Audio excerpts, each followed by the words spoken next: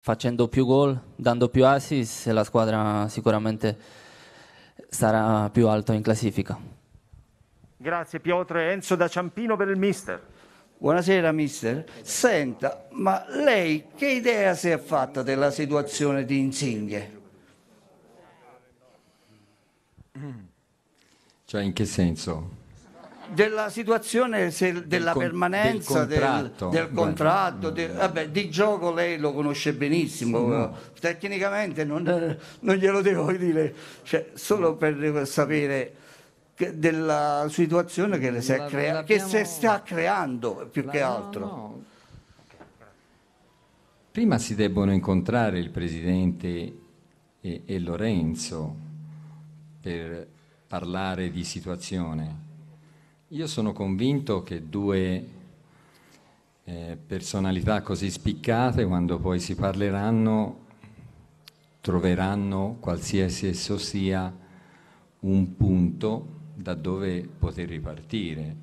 Per cui dobbiamo aspettare, dobbiamo aspettare che avvenga questo incontro e, e- e poi sentire che cosa si dicono. Eh, È chiaro che eh, l'occasione fa l'uomo ladro e i contratti e il calciomercato il, il, eh, il calciatore scontento o il calciatore distratto, per cui non cominciamo a, a- a fare troppi discorsi. Qual è il problema? Problema però non ce n'è, si sono dati un appuntamento, problemi non ce ne sono, ci saranno dopo l'appuntamento, fino all'appuntamento, più che darsi un appuntamento che devono parlare, che devono fare, non possono fare altro in questo momento qui. Per cui ottimismo e pessimismo dipende da, da- da- da quello che tu ti racconti.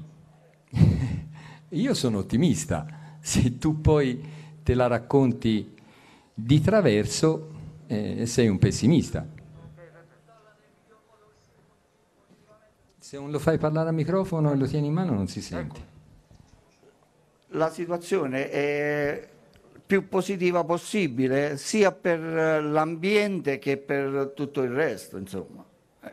La situazione è, è quella che debbono, si sono dati un appuntamento e bisogna sapere quella che è la risposta di quello che si diranno in questo appuntamento.